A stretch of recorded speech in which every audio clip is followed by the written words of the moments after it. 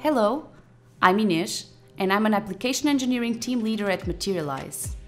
In this video, I will show you how to add myocardium to your heart model in 3matic Medical. When using the Hollow tool in 3matic, to create a hollow heart model, you can usually assume a uniform wall thickness. For certain cases, however, you might want to use the patient's actual myocardial thickness instead of assuming a uniform value, and we're going to show you how to do this. We'll start with the segmentation of the myocardium. The first step is to make a new mask and choose a threshold range that accurately captures the myocardium. We clear the mask and then manually select the region of the myocardium using the multiple slice editor with a local threshold. You don't have to worry about staying perfectly within the boundaries because you'll have set the operation on threshold to have the same values as the mask.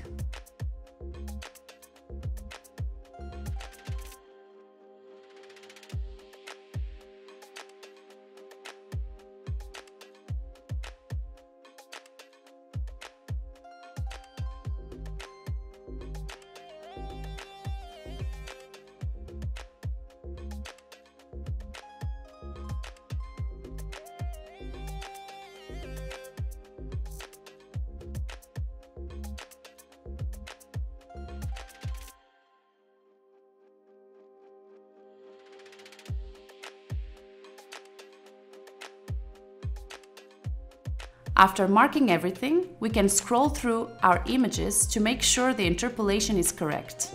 We can then perform a region growing operation to make sure there are no loose particles in the model. We'll rename the mask myocardium and then calculate the 3D object.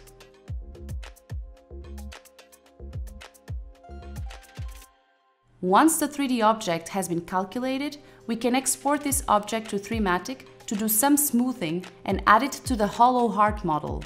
We'll select the myocardium and hit Ctrl C. Then go to the hollow heart model file in 3matic and do the Ctrl V to paste. Now, we want to go to the Fix menu and do a wrap operation. We'll set a large gap distance to fill in all the holes on the surface of the myocardium. We'll also set a large smallest detail value to get a really smooth surface. In this example, we used 4 for the gap closing distance and 1.5 for the smallest detail. To further smooth out this surface, we'll then choose the local smoothing tool under the Finish menu. You can also do a reduce operation under the Fix menu if the local smoothing doesn't seem very effective. Reducing the number of triangles can increase the amount that the tool smooths.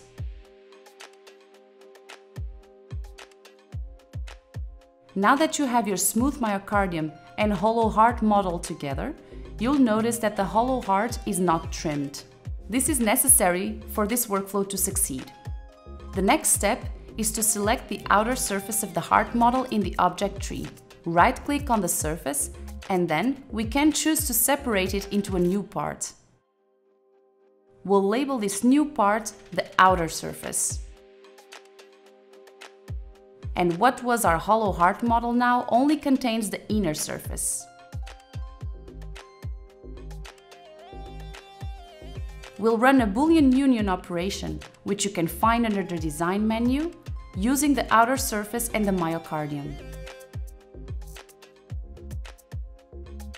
Now we have our outer surface as well as our inner surface.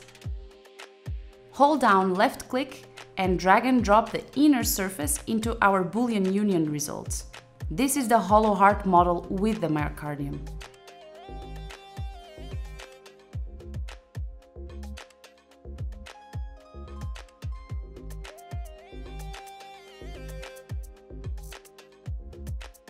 If we cut this open, you can see that it now has the actual myocardial thickness of the patient instead of just an assumed uniform value.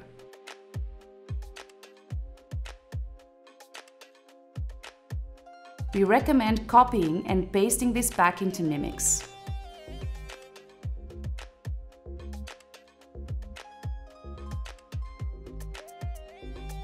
You can then turn on the contour lines and see how the outer contours of this myocardium correspond with your images. If you want to manually adjust it further, you can use the contour editing tool under the segment tab.